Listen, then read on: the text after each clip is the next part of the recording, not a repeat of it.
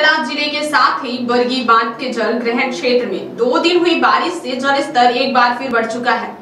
हालाँकि बारिश बंद हो चुकी है, लेकिन बरगी बाँध के जल ग्रहण क्षेत्र में पानी की आवक जारी है, जिसके कारण देर रात दो गेट को फिर खोल दिया गया। अब 21 गेटों में से बाँध के सात गेट खुले हैं, जिनसे पानी छोड़ा जा रहा है। बरगी बाँध के सात गेट खोले जाने के बाद नर्मदा नदी का जल स्तर एक बार फिर बढ़ गया है।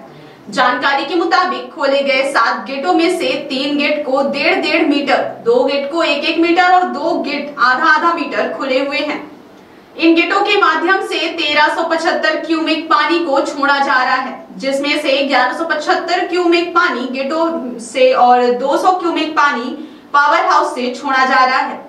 बाँध में पानी की आवक 913 क्यूमिक दर्ज की गई है। यही वजह है कि बाँध से छोड़े जा रहे पानी के कारण नर्मदा नदी एक बार फिर उफान पर आ गई है, जिससे नर्मदा नदी का जल स्तर करीब पाँच फीट तक बढ़ चुका है, जिससे जबलपुर के ग्वारी घाट, तिलवारा घाट, भेड़ा घाट सहित अन्य घाटों में जल स्तर बढ़ गया है।